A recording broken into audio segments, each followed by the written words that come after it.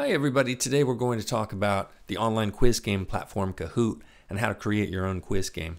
These video clips are from the Kahoot website, but they really are representative of how much students love Kahoot and it's great for students of all ages. Students use their own devices to interact with a Kahoot, and what they're looking at is a screen with the questions and options to answer. Uh, this is a, uh, an example of a Kahoot that I made here. Then the students answer on their own device the teacher or another student can run the game and can narrate what's happening.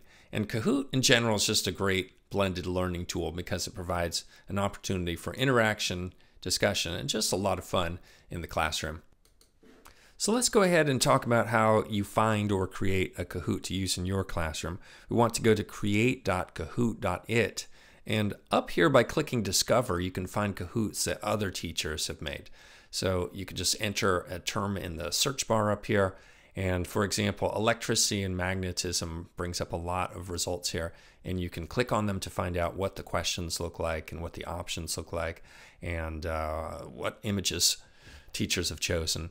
You can either play that or you can choose some options over here with the three dots. You can preview it or you can also duplicate it if you would just like to make a copy and make changes. So let's go ahead and create a brand new Kahoot and we'll click on quiz. And for this particular Kahoot, let's call this polygons. And you're required to enter the description. I'll just enter a quiz about polygons to keep it short. And I'll just keep this private and the audience is for school. Now up here, you can choose from free images here. I'll click on math and see what I can find.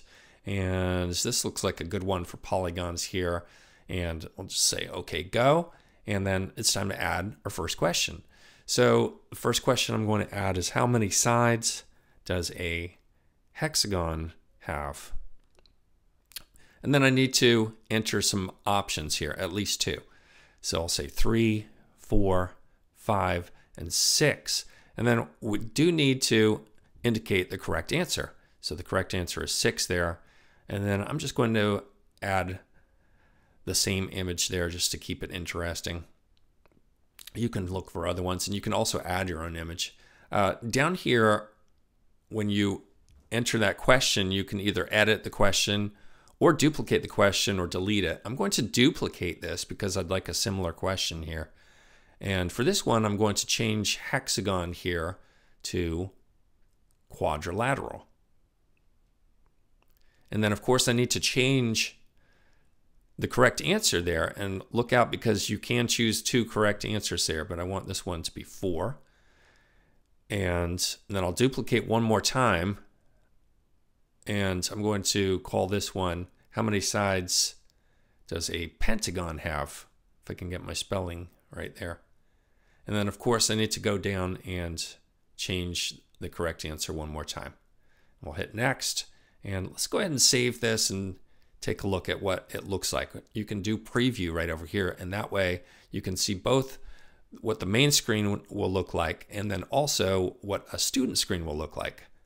And students go to kahoot.it and they enter a game pin.